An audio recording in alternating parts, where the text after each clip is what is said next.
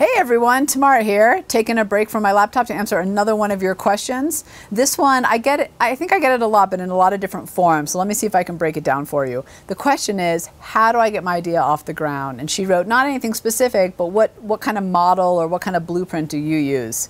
Such a good question and it is so helpful to have a little bit of a path or a roadmap to get you there. A couple points of resources that I want to point out to you. Number one is the Pursuits to Profits blueprint that we use. Go find it on theshuuk.com. It's in one of our blog posts.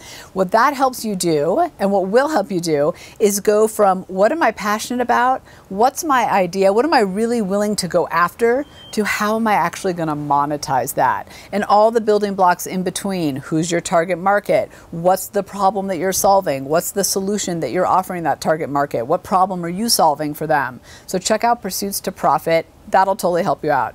The second thing I want to tell you, and this is a Huffington Post blog I just wrote, so go look at that. That's the other resource.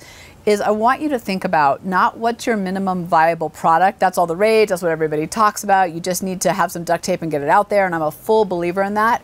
But I want you to think about, as you're trying to launch an idea, is what's the blueprint to have a minimum viable plan? What's the minimum viable product? What's the minimum viable launch strategy? What's the minimum viable sales you're going after? If you have all that, the path to going from idea to marketplace actually becomes quite clear. Now, let me just preface that by saying that that means that you will also have tweaks and adjustments. Some things will work, some things won't work along the way, but with that minimum viable plan, you'll be able to figure all that stuff out. If you want to be a part of what we do here, subscribe to our YouTube channel, Shuuk TV, and join us at theshuuk.com.